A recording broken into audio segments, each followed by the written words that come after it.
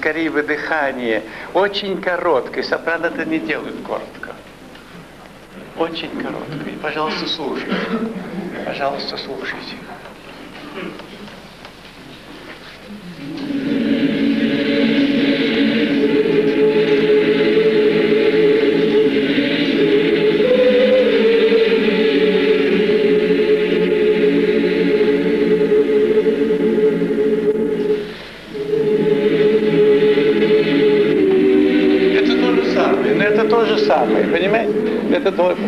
То же самое. Это то же самое. Я тогда попрошу всех уже не петь. Вот это закончили. А дальше, дальше нет сопрано. И очень коротко, очень коротко.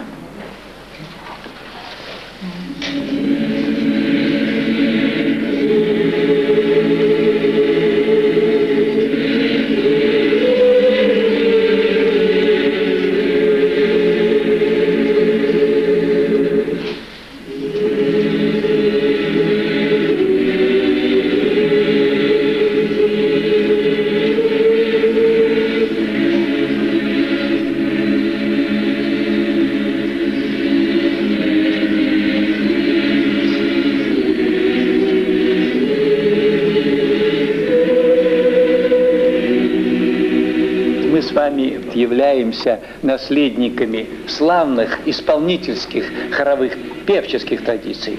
И наша задача сохранять и развивать эту традицию. Вот странная вещь. Про птиц, канареек, э, соловьев говорят певчие. А если скажешь о певцах певчие, они обижаются. А почему? Знаете ли, все-таки соловей такая птица, знаете, у которой необыкновенная постановка голоса, понимаете, у сама природа о ней позаботилась. Зовутся певчие. А сейчас не принято говорить певчий, а мне нравится это слово, как красивое такое слово, певчий. Вот. Это очень трудно, чтобы все спели абсолютно одинаково. Это неимоверно трудно. Чуть-чуть. Как это чуть-чуть? Вы сами. Вы сами это делаете. Вы сами это делаете. Глядите вы. До. Вы из кустых ветвей.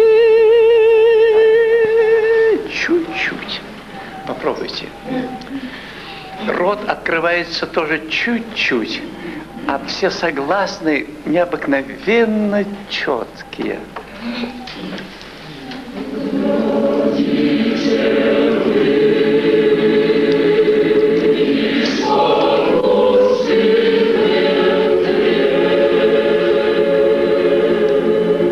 Представить. Вы посмотрите сюда. Тирарарам, тарарарам, тарарарам. Та-ра-ра-рам. Понимаете, для публики это должно быть, вот они слушают, а для вас это, вы делаете в этом огромную работу. А вы так сейчас размякли, что уже публике некуда размекать. А у вас это все очень экспрессивно все, и очень тихо, но очень, понимаете, энергично в то же время. Понимаете, через эту энергию все передать. А такая мазилка получается, ну все на ку. И не надо никакого голоса.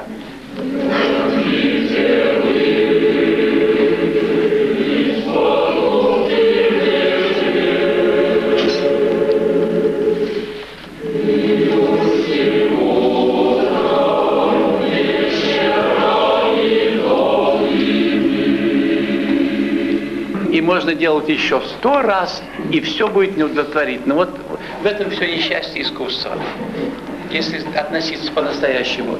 И, и, все, и все недовольны. И все недовольны, и все недовольны. И никогда нельзя быть довольным, никогда.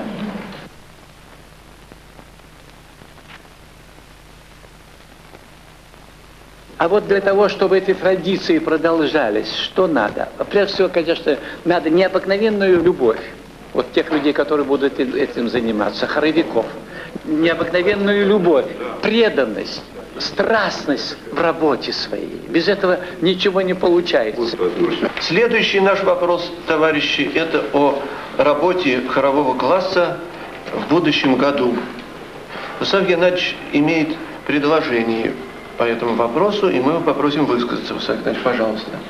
Я предлагаю кафедре, в общем, оставить ту же организационную структуру, которая была в прошлом году.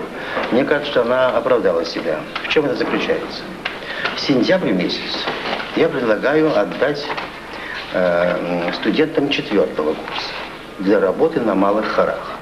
Э, затем э, конец первого полугодия, вернее, так сказать, до начала декабря, мне хотелось предложить кафедре, чтобы она согласилась на то, чтобы это время было отдано руководителям хора для подготовки концертной программы. Теперь по поводу программы концерта э, хора под управлением руководителя э, хора. Мне казалось, что следует дать концерт из новых произведений советских композиторов и пре преимущественно молодых. Мне кажется, что мы это сможем сделать.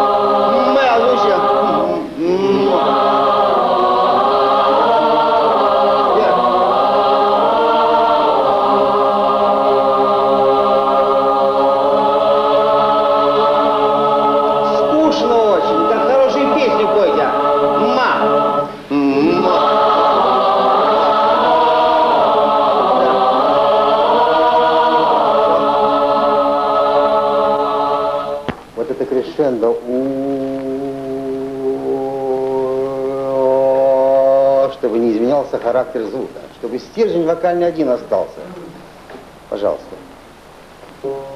Как затаенно возьмите звук, пожалуйста.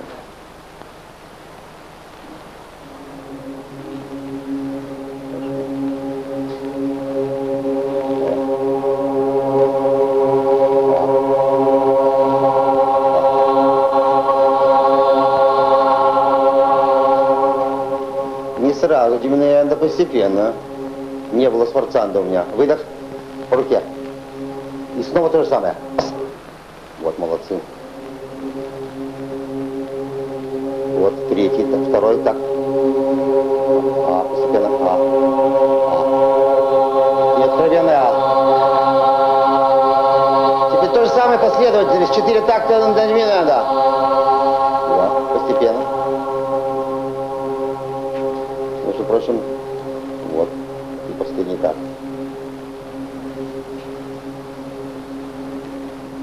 такое слишком радостное ад у вас было? Все сохраните. Так, тебе нравится брат? То же самое. Давайте вместе, вы сами. Давайте.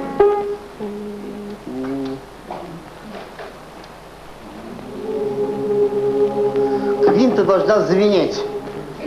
Не тускнеть, не мрачнеть, должна звенеть. В любом нюансе. Как хорошего настройщика.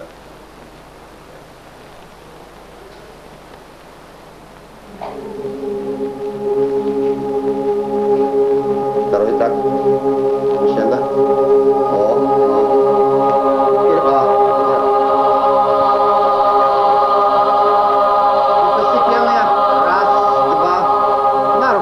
Вам, рукой. Отлично. Вот интересно, чем больше пьяно, тем выше, тем внимательнее интонации. Все, все по наполтона вверх, без дыхания. Извини, звона нет, не надо, не надо, ничего пока. Сейчас возьмемте дыхание по руке, да? Выдох и начинаем. Выдох. Все начала.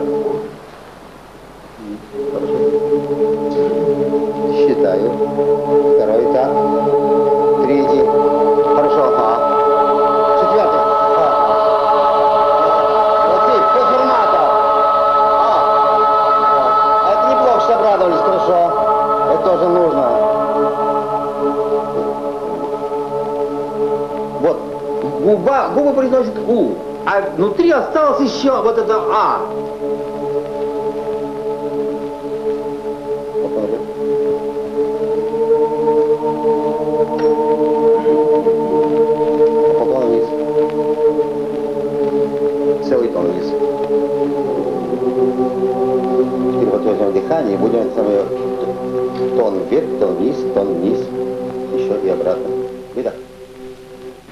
Певческий голос – удивительный музыкальный инструмент.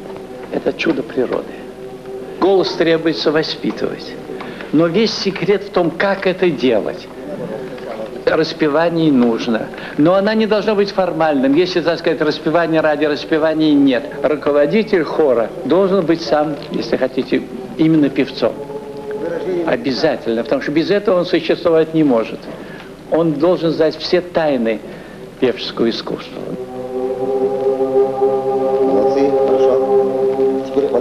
Хорошей артикуляцией. Да, да, да. Выдох, да. Да.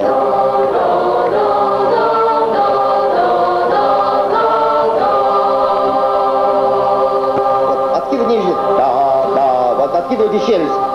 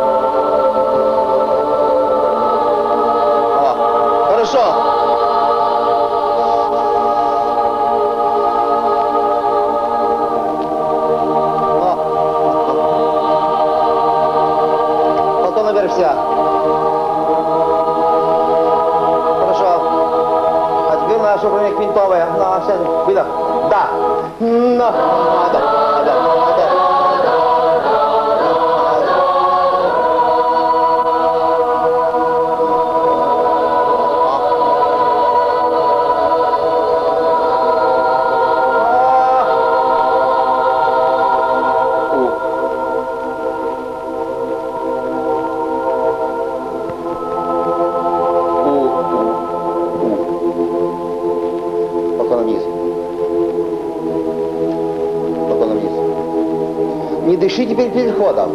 Наоборот, когда переход еще больше опереться звук. Теперь по знаку целый тон вниз, я делаю целую, целую лопасть вниз. Вот, теперь полтона. Вверх. Целый тон вверх. Полтона. Низ, низ, низ. Постройте. Вверх.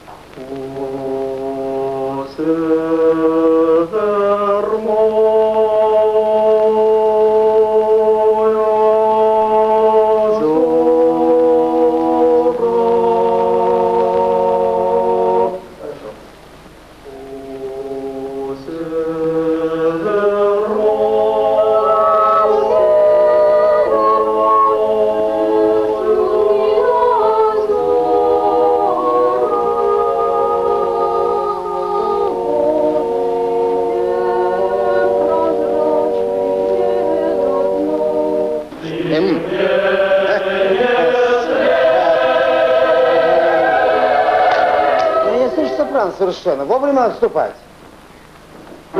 Все-таки жаль, понимаешь, что начинается опять разговоры о технике. О том, когда вступить, когда что. Что? Почему говоришь? Вот. Вот. Да хорошо. Теперь спойте неверно. Вот. Это надо озвучить нужно.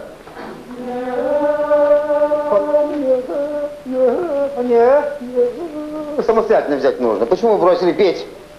Все, на страх. Что на меня смотрите таким укоризненным? Пора кончать, да? Что вы говорите? Все. Костра. Ас. Каменный гость стоит. Топота не шагов не слышно. Ас.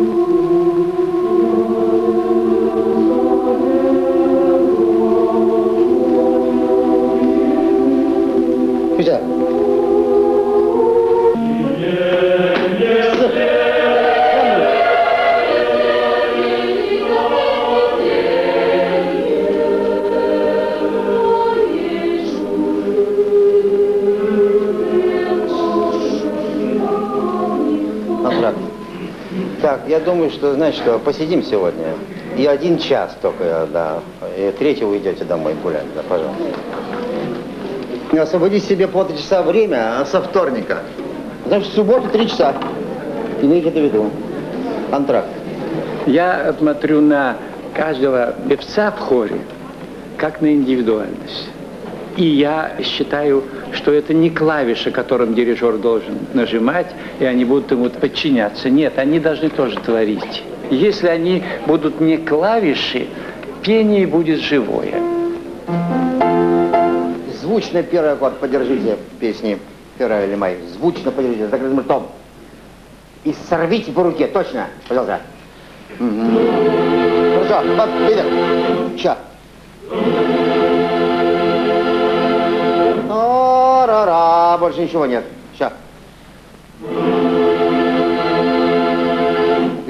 Смотрите. Ща. Так. Хорошо? Да.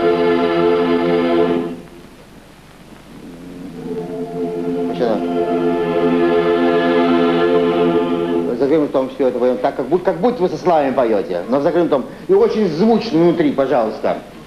Озвучивайте все существо ваше, все то, что может резонировать. Пожалуйста.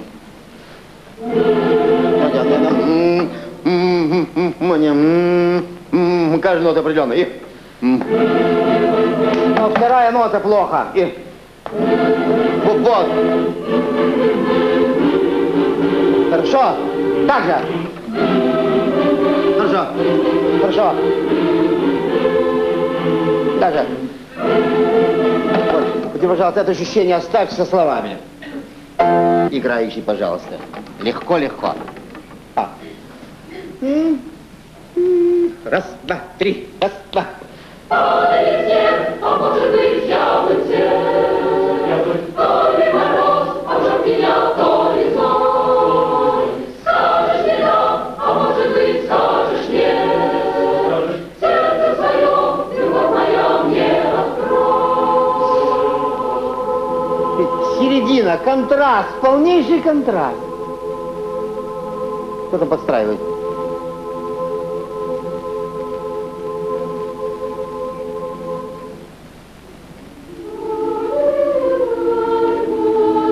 Отлично.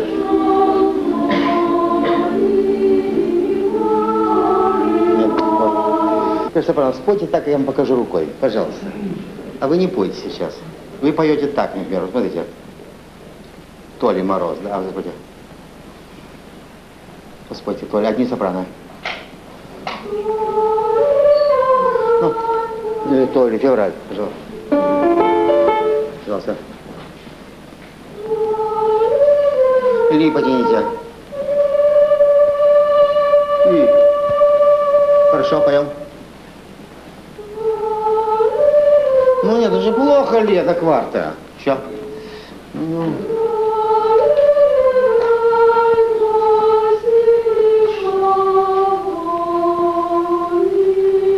Ужасное ли плохое? Какое-то бытовое, простецкая буква. Толи, толи, толи. Поется, кажется. Все с альтами, пожалуйста.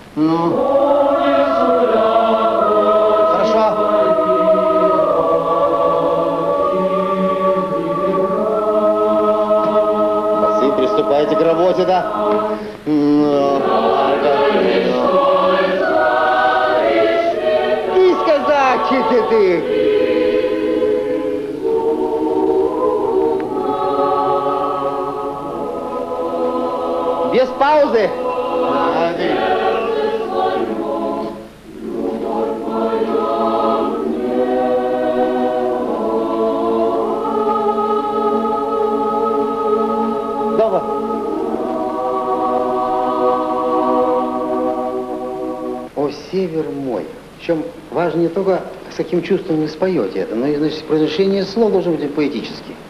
Очень много у нас такой бытового, м, какой-то бытовой интонации речевой. Можно сказать тишина, можно сказать тишина. Совершенно по-другому будет. Шорох, а не шорох. Я понял. Я понял. Вот это я вас прошу, понимаете. Все-таки должны как-то особенно на это обратить внимание, потому что ну, в, остальном, в общем-то, мы обязаны петь чисто и ритмично, понимаете? Это меня очень беспокоит, этот вопрос. Пожалуйста. Каждое слово с высокой поэтической позиции можно петь и произносить. Пожалуйста, сначала. Вместе, пожалуйста.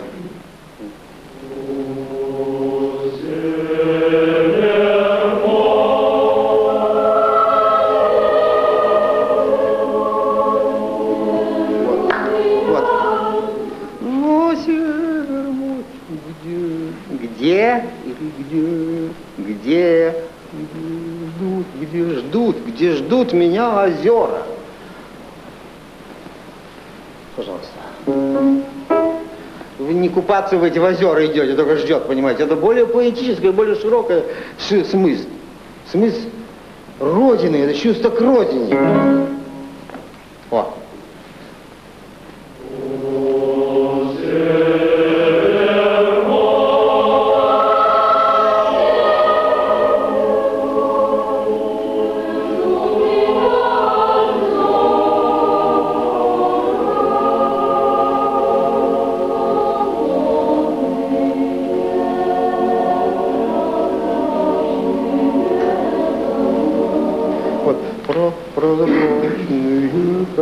Прозрачные, прозрачные.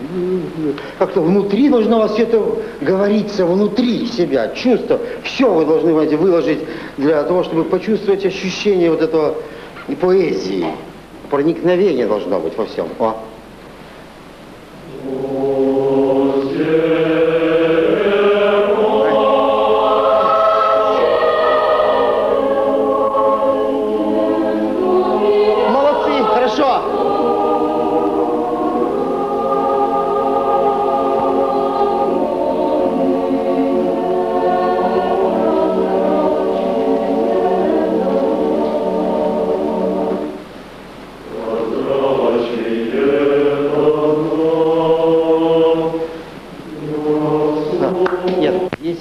вслушивается еще более реально. Так, а вот дальше вслушиваюсь шорох. Слово шорох уже еле слышно.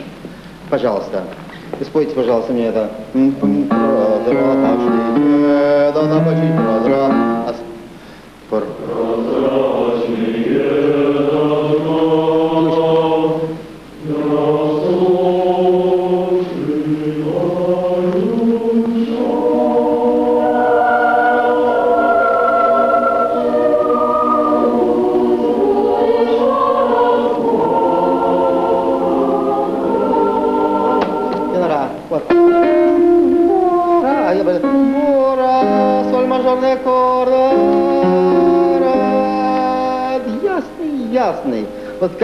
Чистые воды этого северного озера.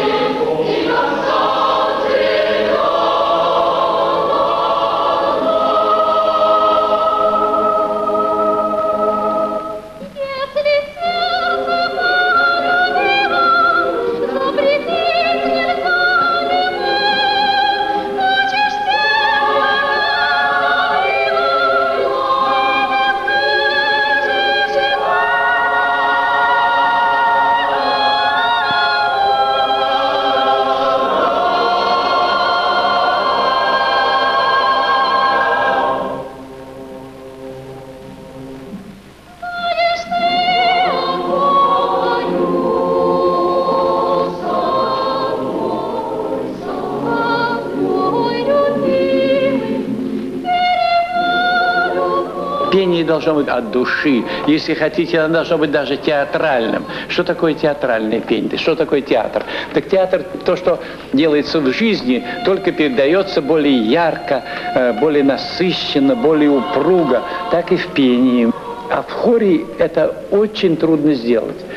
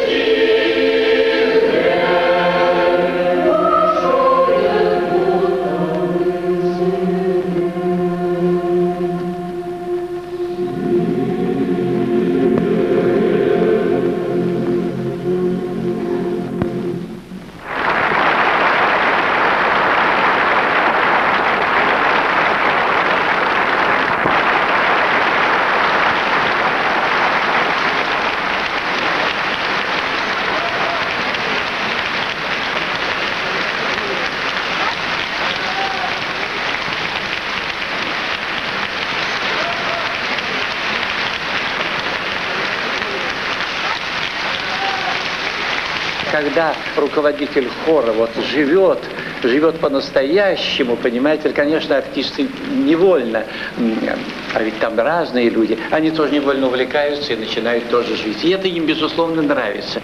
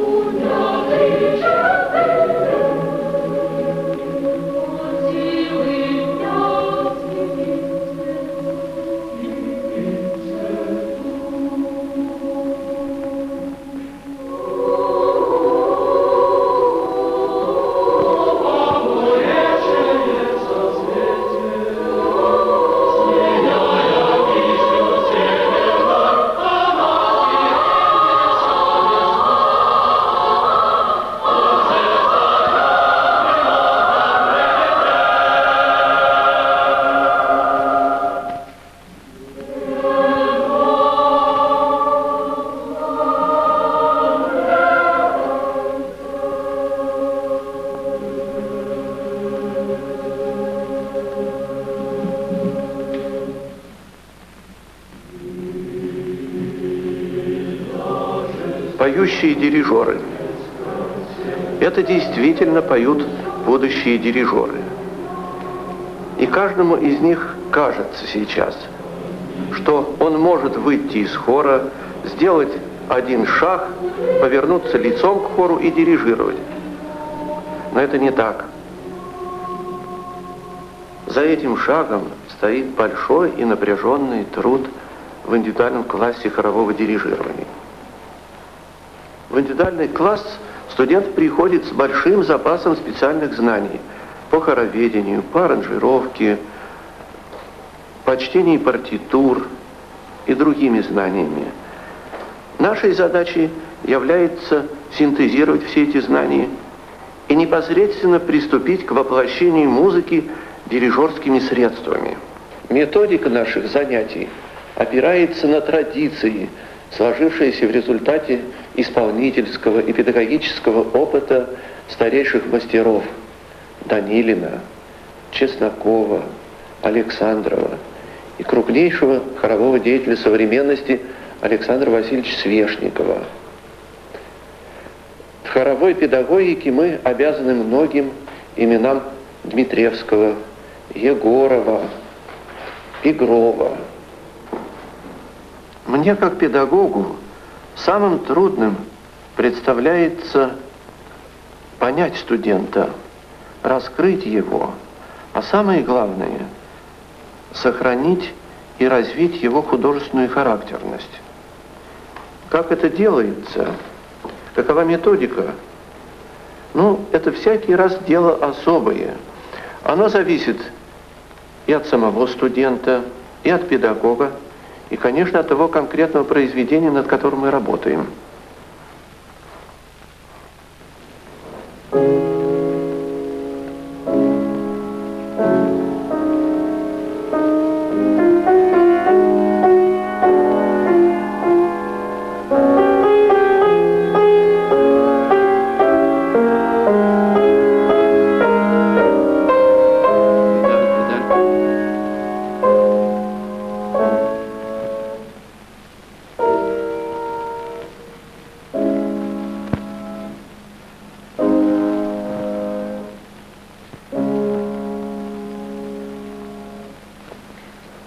Борисович, можно ли здесь говорить об инструментальности звучания хора? Ну, почему?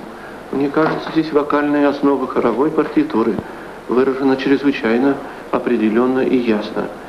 Ведь дело в том, что Моцарт, как и все классики, они придавали э, выразительным возможностям человеческого голоса особенно большое значение, умели пользоваться этими возможностями, пожалуй, как никто. И вот Моцарт, соединяя здесь, вы знаете, инструментальную часть оркестровой с вокальной, от каждой требовал очевидно своего. Я думаю, откуда у вас возник такой вопрос? Может быть, он родился из сложности структуры, из сложности формы. Вы знаете, помните первую фугу из Реквиема, ре минорную?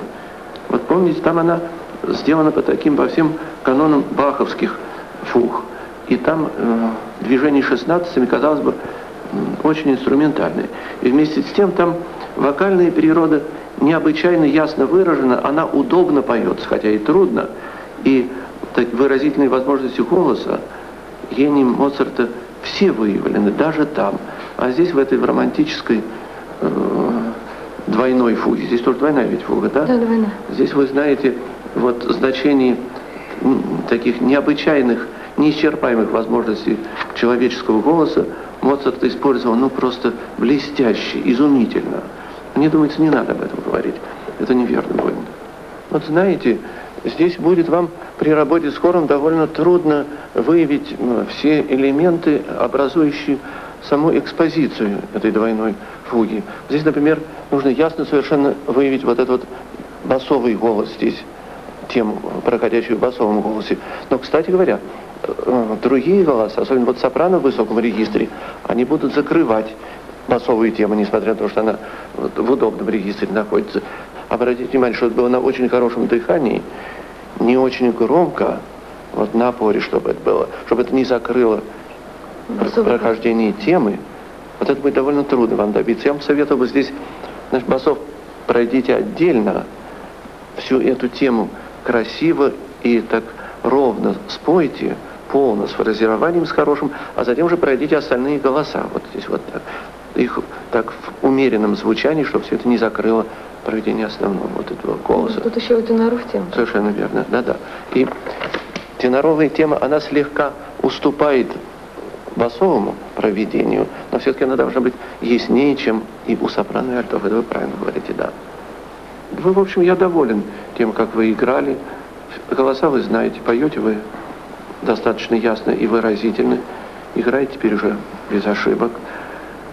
И форма вам ясна, и все необходимые особенности дальнейшего исполнения. Сейчас мы можем уже приступать к дирижированию здесь, за фортепиано. В следующий раз мы этим и займемся с вами.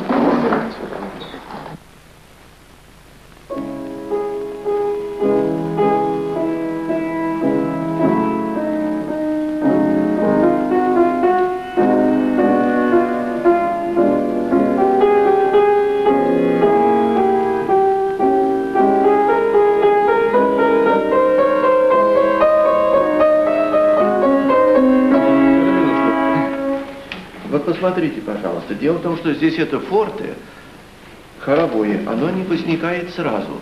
К нему совершенно естественно подводится вот это вступление. Дело в том, что вот эти сегментные ходы по тактам, они как раз наращивают динамику, и потом, естественно, из него вытекает хоровое форте. Посмотрите-ка. Так.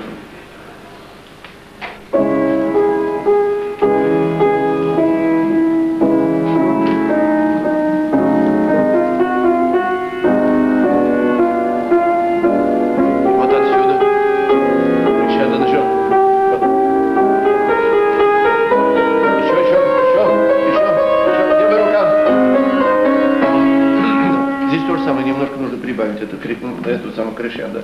Так, вот это сделайте, пожалуйста. И отсюда, естественно, начинается вот это вот форте хоровое, причем партии за партией наслаиваются, потом приводит к кульминации вот этого первого построения. Пожалуйста, еще раз прошу вас.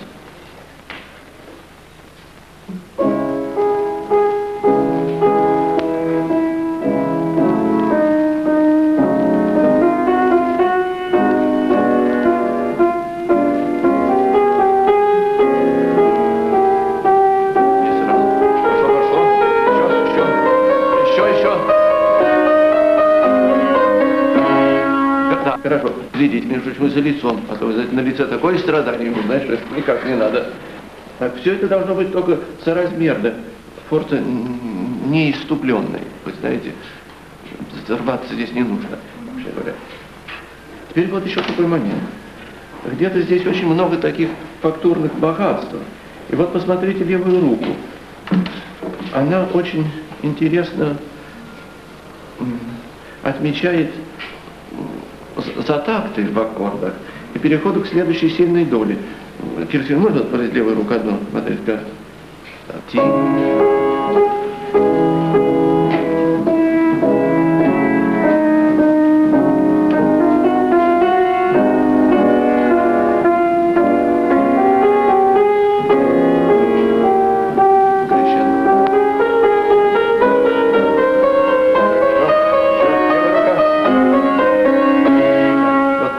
Там, где последние полтора такта, откуда началось крещендо на этих связанных шестнадцатых, немножечко отступить, еще тише начните.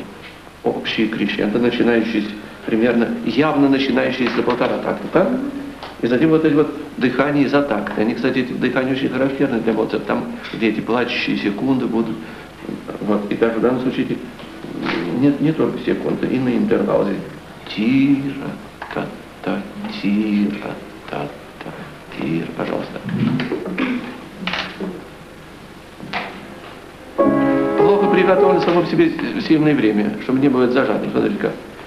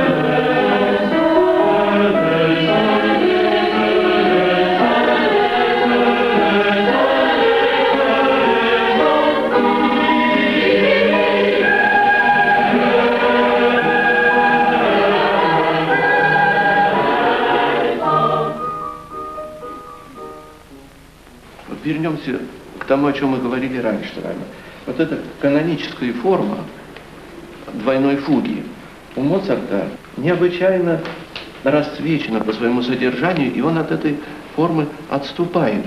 Вот отсюда прямо и начните, вот так до солиста. Посмотрите, какое здесь даже фактурное богатство неисчерпаемое. Пожалуйста, начните отсюда.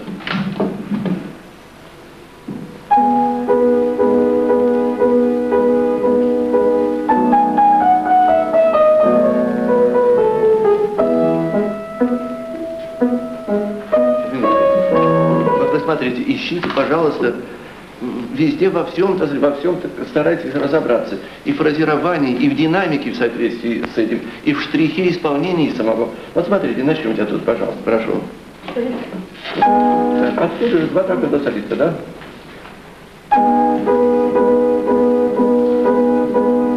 Здесь уже есть какой-то динамический вот такой вот наплыв, смотрите-ка. Нет, нет, тихонечко, вторую восьмушку.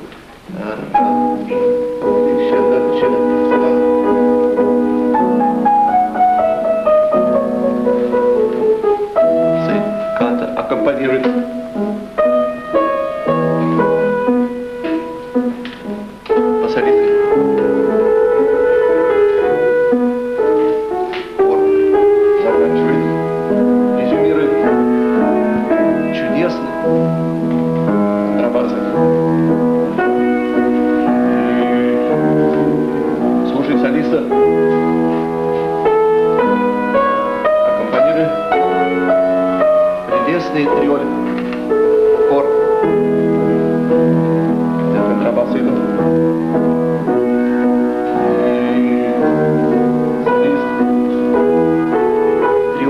Движение. Вот чрезмерно все-таки не расширяйте. Тут выходит за м, форму вот делать это. В первом такте очень много фразирования динамического, во втором еще больше. И дальше началось просто великолепное. Ну-ка, пожалуйста.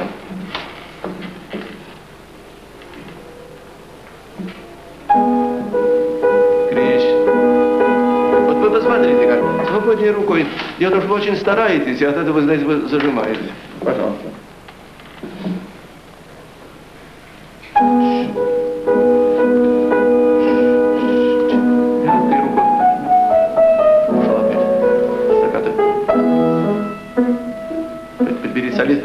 Понимаете, вот здесь все время нужно переключаться. Там, где, ну, говорят, дирижеры должны уметь одной рукой делать одно, другой, другой. Но лучше, если одной рукой уметь все делать. Вы знаете что? Вот посмотрите-ка. Э, Прямо солист, да? Здесь, значит, так. Сначала внимание на новые фактуры оркестра, так? А потом где-то такой обратиться и продолжить то, что делает солист.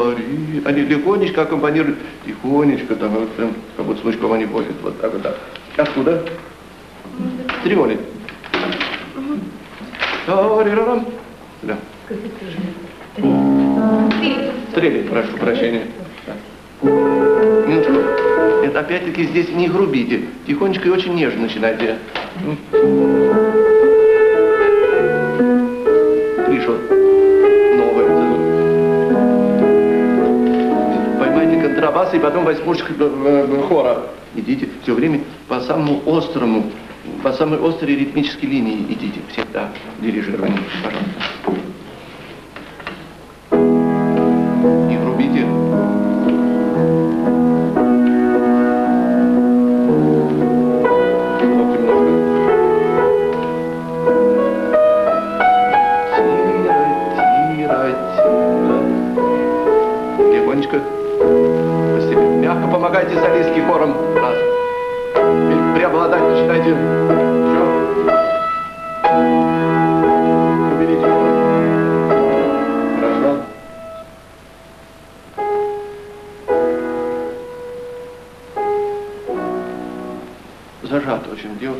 Здесь-то нет ничего вот этого самого. Здесь запомните, пожалуйста, что это очень прекраснейшее место вообще во всей мировой музыке.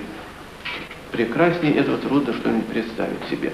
Это здесь, ну, с необычайной вот нежностью он подводит к репризе Моцарте, вот эти вот так дышащие, очаровательные, чарующие вот эти возьмушки моцартские, вот и мягкость, сама, так сказать, э, поэзии, но потом он начинает нагнетать огромную силу, огромную силу. И в репризе она вся, значит, устремленно идет э, кульминации и достигает просто огромной силы.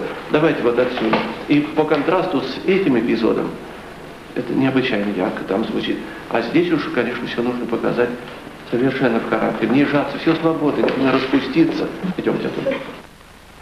Посмотрите-ка, пожалуйста.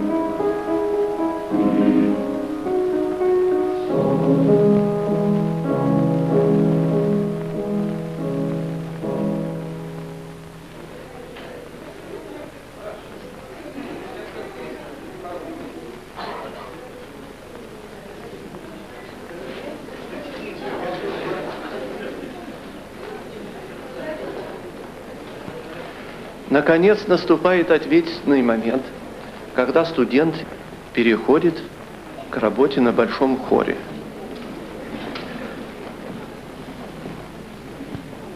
Студента встречает целая масса неожиданностей, связанных с отсутствием у него опыта владения хоровым звучанием. Вся эта огромная масса звука, который приходит к нему от хора, она неопытного юного студента бросает как челнок в океане и грозит поглотить его. И вот тут к нему на помощь приходит своим большим опытом, своим авторитетом руководитель хорового класса профессор Владислав Геннадьевич Соколов.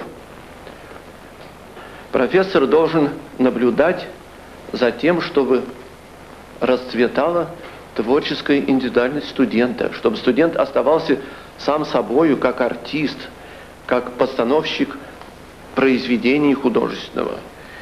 И вот так шаг за шагом руководитель хорового класса ведет студента к познанию тайн хоровой работы, к раскрытию художественных образов сочинения, он ведет его к вершинам художественного исполнительства.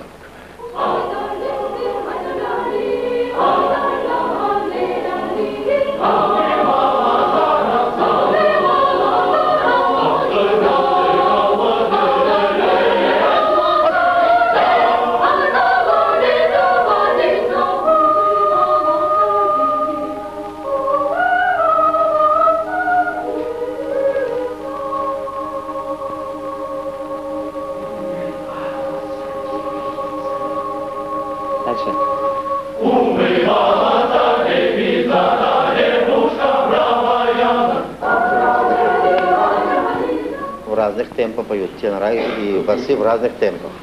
Возникает тоже у мужского хора только тогда, когда они почувствуют, что женский хор тянет предыдущий аккорд. Пожалуйста. Пожалуйста, Жень.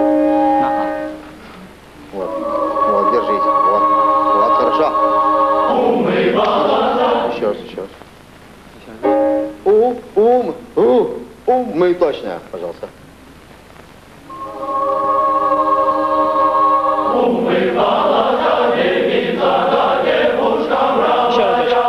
тенора не попробуйте. Торопите. Все распевы торопите, особенно вторые тенора. Пожалуйста, вместе.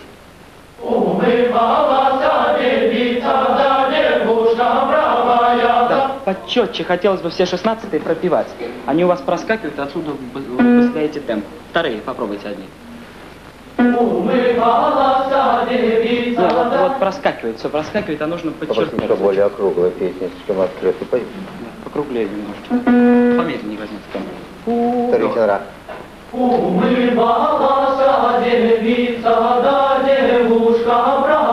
Вместе с первым. Вот браво, это кульминация фразы. Угу.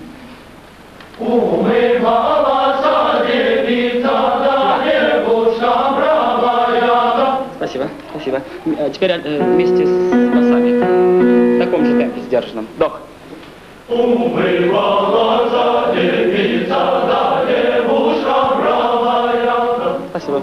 В ритме, э, в темпе. И в характере. Еще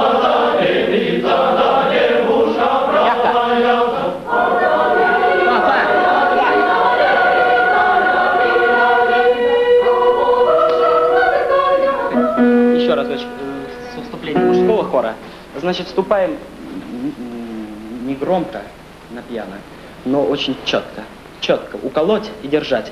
Особенно у первых сопран, это ваша фа, его нужно раздуть обязательно к концу и бросить. Совсем контрастно, потом дальше часть идет. Еще разочек с хора. Более напористо, определенно. Вдох.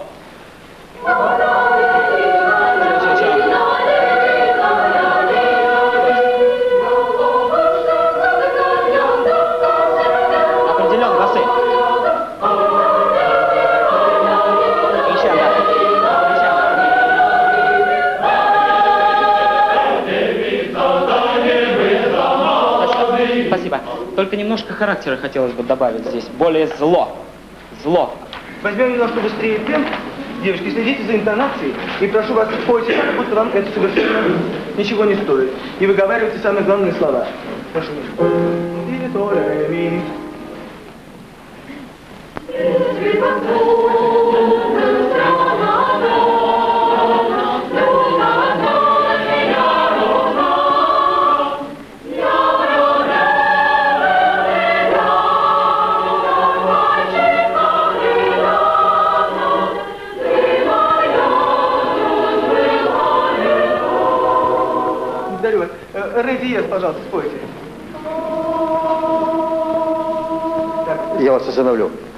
Видите и слышите, э, сопрано фальшиво пели верхние ноты.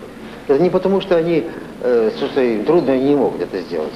А дирижер нужно организовать э, партию в то время, когда она поет высокие ноты. Жестом. Вы дирижер. Пожалуйста. Учтите это, пожалуйста. Продолжайте. Все вместе, весь. Внимание.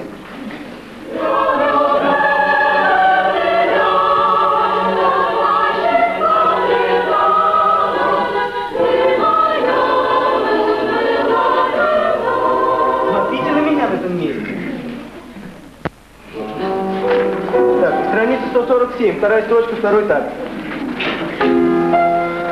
Так, друзья, темп вовсе ни- никуда не девается, тот же самый. Музыку позвольте мне показать вам. Здесь пьянительно. В пределах возможного. Понимаете, дальше развивается фраза в конце страницы. И потом диминуэнда. Так, 147, вторая строчка, второй этап. Внимание все. Прошу. Я вас не перебью. Хорошо все-таки назвали, какие ноты, какой текст вначале, а то все-таки вы так разговариваете таким симфоническим методом. Такая-то страница, такой-то так. Для начала, да, все-таки вы работаете над произведением. Скажите, какой текст здесь, какой аккорд. Ну, пожалуйста. Снежно смотрит, как из пряжи. Внимание.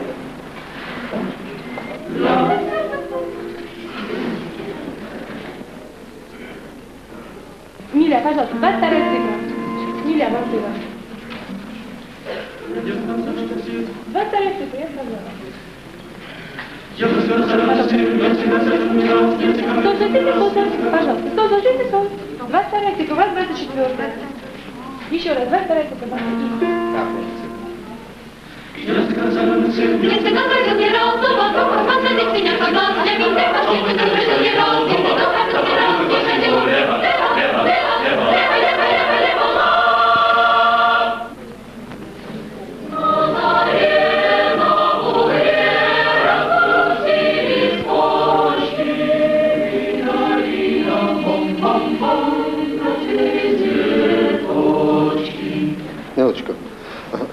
Товарищи, вы делаете большую ошибку в исполнении этой фразы. Вы поете «На горе, на бугре распустились почки».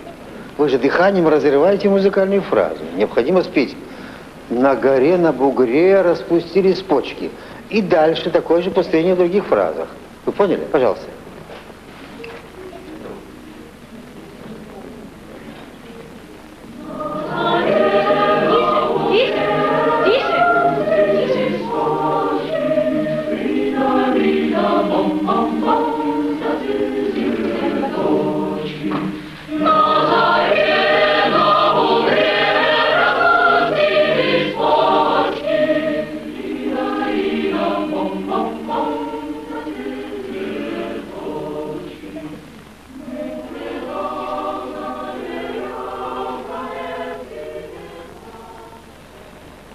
Через несколько часов в этом любимом всеми нами малом зале Московской консерватории начинается государственный экзамен.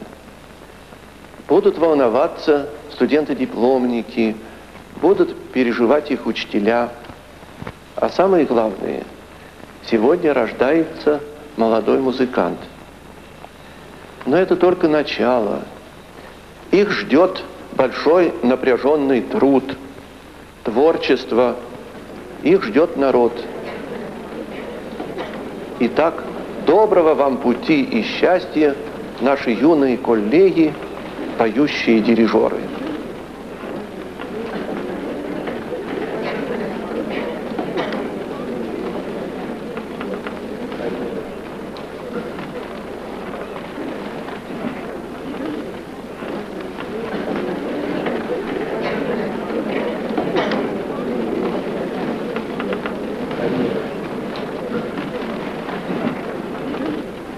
Начинаем государственный экзамен по хоровому дирижированию студентов-дипломников дирижерско-хорового отделения Московской государственной консерватории. Исполнитель – хор студентов дирижерско-хорового отделения. Руководители хорового класса профессор Владислав Геннадьевич Соколов и старший преподаватель Глеб Иванович Савельев.